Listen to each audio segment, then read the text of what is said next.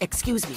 Did you just fax me an ad for weight loss? No. What? Why? Why would anyone send me this? Come on. You know why.